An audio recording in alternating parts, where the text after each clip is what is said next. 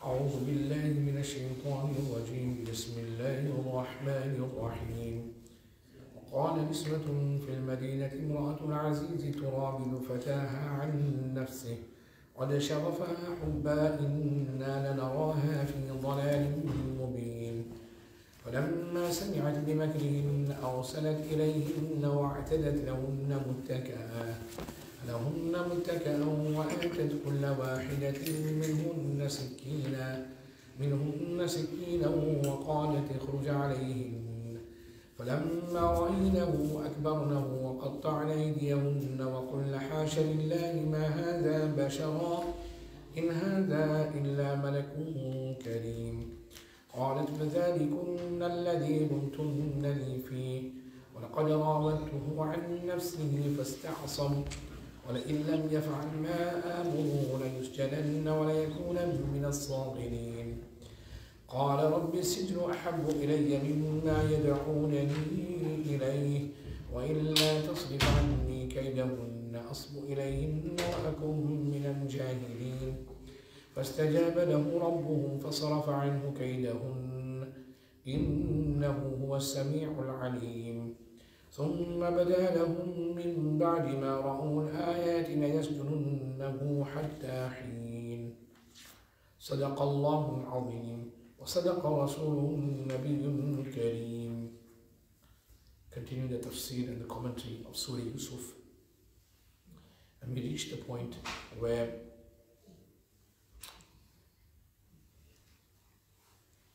the minister minister's wife tried to seduce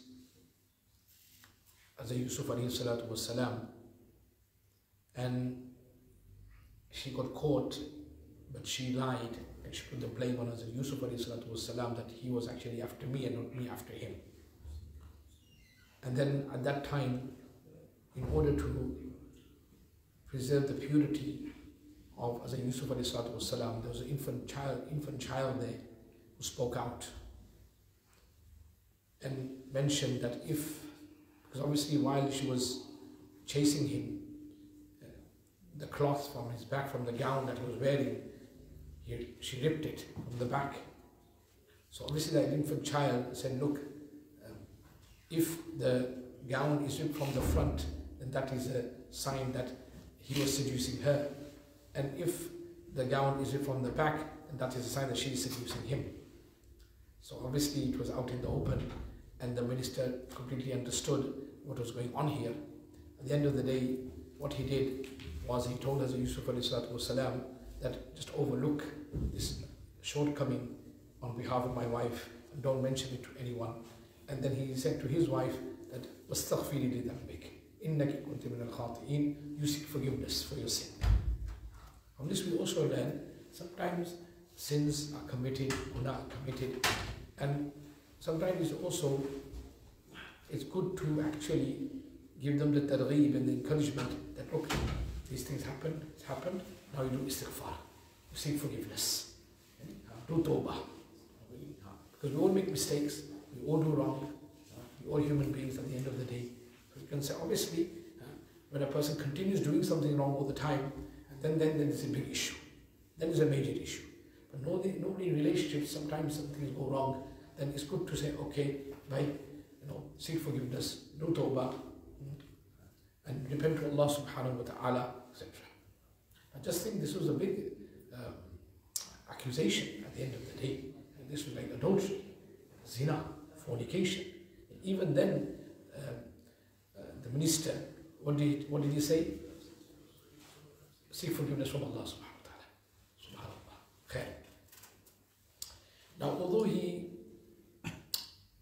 instructed Hazrat Yusuf والسلام, not to mention this to anyone what has happened. Allah makes a mention here. وقال نسوة في المدينة امرأة العزيز تراود فتاها عن نفسه. Some women of the town said, the minister's wife attempts to seduce her slave to fulfill her motives. So meaning, though Hazrat Yusuf والسلام, was instructed to keep the matter a secret, the news somehow reached the women of the town. Normally that always happens. No matter how you secret you keep it, it just reaches. I mean, next you know, what happened here? And I told you, hush, hush. And, uh, sometimes we won't know who spreads it. Ah. Now sometimes you just make sure it's a secret, don't tell anyone, he's the first one to go and tell someone. And he tell someone. Anyway, what happened is that they began to gossip among themselves and expressed disbelief that a married woman of noble class, because noble class, she's the wife of the minister, Allah could become infatuated with a slave because he was a slave. I actually uh, lost it. You know what I mean? Uh, you can find so many men of high class know, who, she, who she could have went after, but she goes after a slave. So it's something that they couldn't, they couldn't understand hmm. because neither were they compatible in rank nor were they compatible in age. Yet she was, uh, she was seducing him and she was uh, Allahu Akbar, infatuated. Khair. So the only reason they saw was, as mentioned here, قَدْ شَغَفَهَا حُبًّا Love has certainly overwhelmed her. Love has certainly overwhelmed her. This is the only reason they saw that they said, look, sometimes when love like this, we're saying love is blind. Love is blind, then you don't look at age, rank, nothing. Blindly in love, that's it.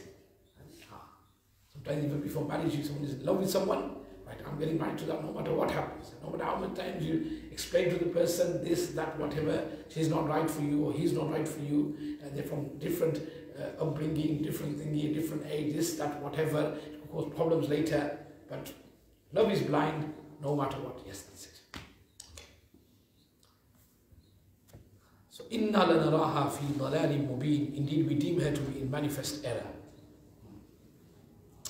Now, when she, the minister's wife, heard of their plot, as mentioned earlier, فَلَمَّا سَمِعَتْ بِمَكْرِهِنَّ When she heard of their plot, أَرْسَلَتْ إِلَيْهِنَّ She sent for them, وَعَتَلَتْ لَهُنَّ مُتَّكَآ And prepared a meeting place for them.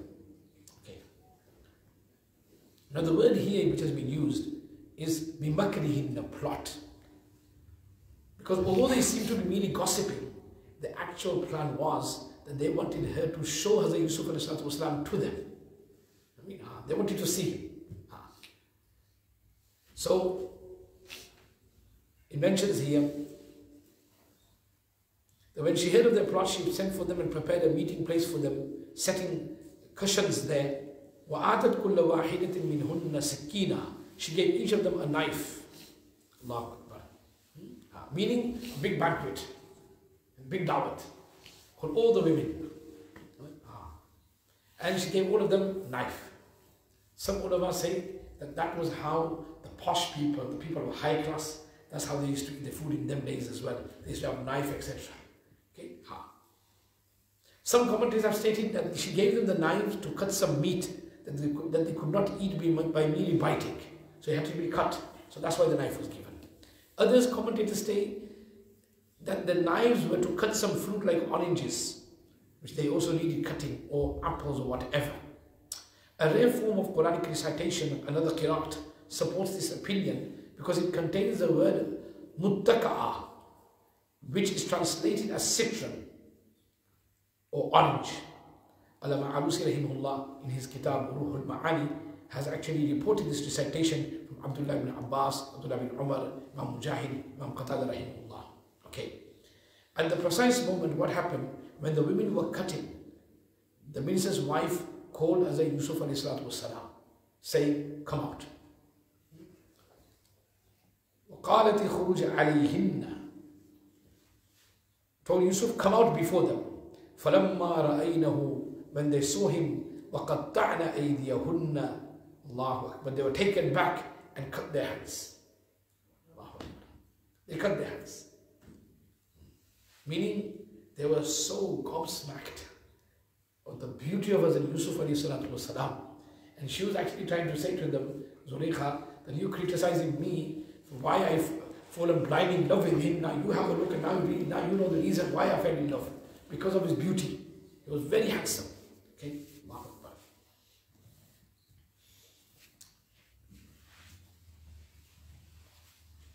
Allah Ta'ala had bestowed Hazrat Yusuf with exceptional beauty. Exceptional beauty. Rasulullah sallam met him when he went on Miraj. And he said, indeed, he has been conferred half the beauty of the world. Half the beauty of the world has been granted to Hazrat Yusuf. Allahu Akbar. Among the Sahaba, there's another Sahabi, his name is Hazrat Dihya Kalbi radiallahu ta'ala. He was also granted so much beauty by Allah subhanahu wa ta'ala. He was very, very handsome. He was so handsome that when he used to come out, the women used to, from their house, try to have a glimpse. That's how handsome he was. And it's also mentioned in narrations that when Hazrat Jibreel used to come with any message, any wahi, any revelation, okay, majority of the times he would come in the form of a human being. And he would take the form of Hazrat Dihya Kalbi radiallahu anhu, the Sahabi. There were times when Hazrat Jibreel would come in his original form. And there were times when he would come Allahu Akbar, in the form of a Sahabi, in the form of a human being, and that would be none other than Hazrat Dihya Kalbi radiallahu ta'ala. Because angels are beautiful as well. Angels are full of nur, they're created of nur and light. So therefore, Allahu Akbar, he would come in the form of Hazrat Dihya Kalbi radiallahu ta'ala.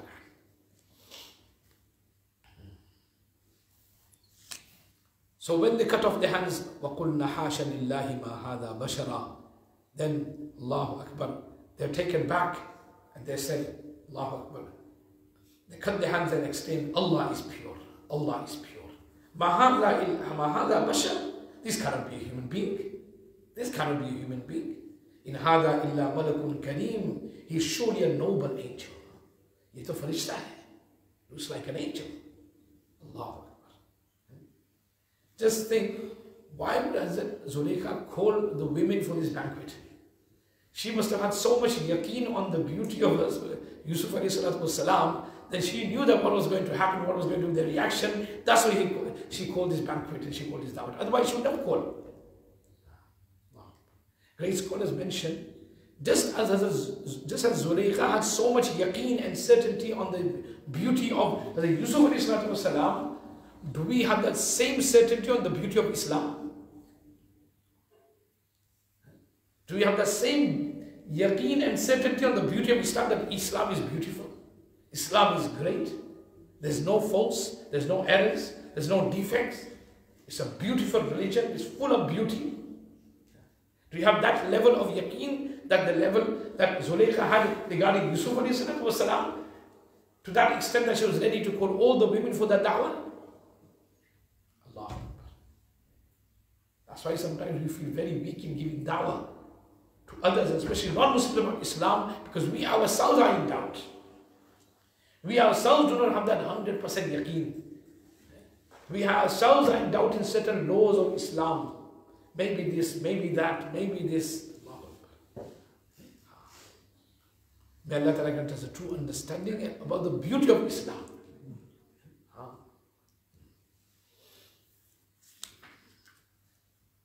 So they said, Ma hada bashar. This cannot be a human being. Hada illa malakun kareem. He surely a noble angel. قالت فذلكن الذي لمتنني فيه she said this is what you were criticizing me for this is it ولقد راودته عن نفسه فاستعصم indeed I attempted to seduce him to achieve my motives فاستعصم but he escaped he escaped why he's a prophet of Allah he's a Nabi of Allah guna and sin Allah but immediately na'udhu billahi I can't do that. now just think, as I mentioned before, he was alone in the house. A lesson for any one of us that we are alone, no one's watching, no one's seeing. We got all the means to commit all the gunas that we can. But at that time, we have the fear of Allah subhanahu wa ta'ala, we abstain. Subhanallah, that is taqwa. That is fear of Allah. That is piety. Though it's not easy to do. It's not easy. Today to commit zina, there were times when to commit zina you have to go out You have to go around two hours, three hours, wherever, make sure no one sees you, etc. Now you don't need to go out, it's, in, it's on your phones. You could be in your room and you could be committing zina, Allah anywhere in the world. May Allah protect us. But fear of Allah is when, when you are alone. When someone is watching and you don't do something, that's not because you fear Allah, that's because, because you're afraid of, afraid of humiliation. that someone might catch you and you'll be humiliated and disgraced because everyone's izzat and honor is, is something. But the real fear of Allah is when there's no one there and you got all the opportunity and the chance to commit that particular sin and guna, and then a person, na'udhu No, I cannot. That is taqwa. That is piety. That is khawf khuda. That is fear of Allah. That's why in the Quran Kareem, so many times Allah mentions, Ya ayyuhalladhina amanu taqullah. Ya ayyuhan nasu taqu rabbakum. Ittaqullah, ittaqullah, ittaqullah. Fear Allah, fear Allah, fear Allah. Meaning fear that day when Allah ta'ala will hold us accountable for all the bad action that we have done. Because nothing is hidden from Allah subhanahu wa ta'ala. We may carry out an act thinking no one's watching, but then at that time we have forgotten it's not hidden from Allah. Yeah, Yusuf alayhi when she was trying to seduce him, immediately, no way. Now That's not me. I cannot do that. I cannot displease my Lord, my Creator. And that's when Allah's mercy descends. That's when Allah's help comes. That's when Allah's rahmat comes. That's when barakah comes. That's when the sukoon of the heart, peace of the heart. Because when a person commits sins, that person doesn't get sukoon of the heart. He doesn't get peace of the heart. That person will never be content. So that's why time and time again in Quran Kareem Allah mentions Ittaqullah, fear Allah, fear Allah. Even at the time of the khutbah of the nikah, in marriage, what are the verses that are recited in the khutbah of the nikah? يا أيها الناس اتقوا ربكم الذي خلقكم من نفس واحدة وخلق منها زوجها. Another verse يا أيها الذين آمنوا اتقوا الله حق تقاته. يا أيها الذين اتقوا الله وقولوا قولا سديدا. All refer to taqwa, fear Allah, fear Allah. When a person is God conscious, then during this marriage, that person will never commit sin. A person has fear of Allah, will never commit sin.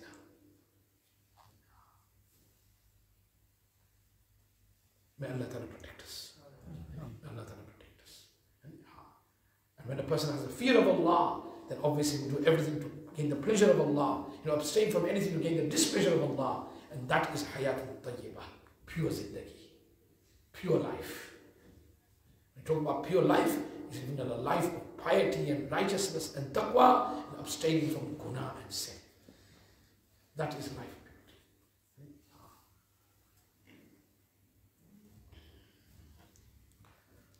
So this is what you were criticizing me for. Indeed, I attempted to seduce him to achieve my motives, but he escaped. وَلَئِن لَمْ يَفْعَلْ مَا آمُرُهُ لَيُسْجَنَنَّ وَلَيَكُونًا مِنَ الصَّاغِرِينَ if he does not do as I command him, he shall certainly be imprisoned and he will be definitely, he will definitely become of those who humiliated. Meaning she's still adamant, I want to achieve my motives no matter what. And if he doesn't do what I say, I'll send him to prison. Blackmail. Blackmail is taking place here. You're blackmailing someone. You do as I say, otherwise, because she's she's from the house of the minister, power. And people have power, Sometimes they can do whatever they want. Who's going to listen to that slave? That's why sometimes people, when they do zulm and oppression, what do they do? They look, they calculate. If they don't, we have been the majority, we have more power, then that's it. Who's going to listen to him? Who's going to listen to her? Who's going to listen to that group? No power, no support, no one, nothing. And that's what happens.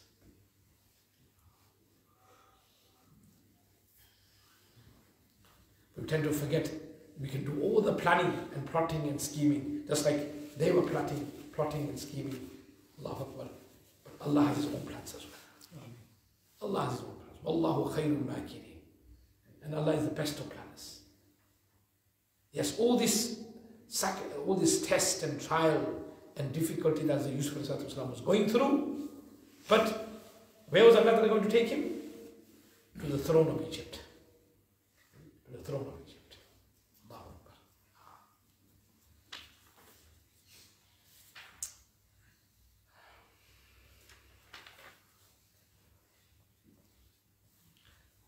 Then Yusuf والسلام, prayed, قال رب السجن أحب إلي مما يدعونني إليه Oh my Rabb, the prison is dearer to me than that towards which these women call me. No, I cannot do zina. I cannot go towards that. I'd rather go to prison than do this. Not even for one second could they ever bear the displeasure of Allah. Not for even one second could they bear committing a sin and guna. They'd rather be imprisoned eh, than gain the displeasure of Allah subhanahu than be disloyal to Allah. then be disobedient to Allah. Allah. If you were in this sort of situation, what will happen? People sell their iman, sell their Islam. Their loyalty towards Allah is out of the window. It's easy to claim, easy to say, easy for me to give a speech and talk. But when we're in that situation, that is a real test. May Allah safeguard our Iman and Islam. So there. وَإِلَّا تَصْرِفْ عَنِّي كَيْدَهُنَّ Then he makes dua to Allah. If you do not avert their plot from me, إِلَيْهِنَّ I shall incline towards them وَأَقُمْ مِنَ الْجَاهِلِينَ And become of the ignorant. Allah Now, even though Anbiya salam were protected by Allah subhanahu wa ta'ala from committing sins, Hazrat Yusuf salam made his dua because of his profound aversion to sins. He feared because of those who do not practice their knowledge. And he doesn't want to be among those people who do not practice their knowledge. So, فَاسْتَجَابَ لَهُ رَبُّهُ So his Rabb accepted his prayer. فَصَرَفَ عَنْهُ كَيْدَهُنَّ And averted their plot from him. إِنَّهُ وَالسَّمِيعُ الْعَلِيمُ Undoubtedly he is all heeding, all knowing. What happened? Allah Ta'ala made it such that Hazrat Yusuf والسلام, eventually was sent to jail. He was sent to jail. The minister and his advisor were concerned about the situation. Although they realized Hazrat Yusuf والسلام, was innocent, something had to be done to brush it under the carpet, brush this whole issue because to go out is, is rumors spreading everywhere. So to quell the growing speculation in the town, since the women were carrying many tales to their husbands, from this we also know the women carry more tales than the men. Ah, you spread the rumor, tell a woman and they'll do it. And Allah makes mention of that in the Quran Kareem. يا أيها الذين آمنوا لا يسخر قوم من قوم عسى أن يكونوا خيرا منهم ولا نساء من نساء and not a woman above for another woman. Don't tell, don't uh, ridicule and mock. They have a habit. Allah Therefore, after reviewing the signs, the innocence of Hazrat Yusuf is occurred to them that they should imprison him for a while until it all this all becomes all of this cools down. Allah. There's many other things that can be mentioned regarding, regarding this. Inshallah, we'll continue next week. May Allah ta'ala grant us the tawfiq to follow the teachings of the Quran, hadith of Rasulullah wa sallam, and abstain uh, from guna and sins and live a life of purity, live a life of loyalty to Allah subhanahu wa ta'ala and live a life of taqwa. Subhanallah bihamdihi, subhanaka Allahumma wa bihamdika, ashhadu an